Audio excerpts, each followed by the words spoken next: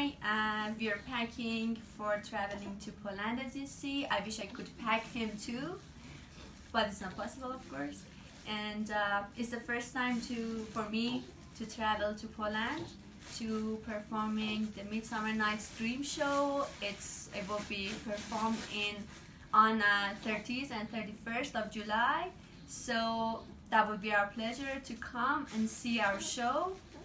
Um, I wanted to have the speech in Polish, but unfortunately, uh, I have just I know just one word from Polish. That will be kobieta. I hope I can uh, learn Polish from my new great Polish friends. See you on uh, 30th and 31st of July on our show.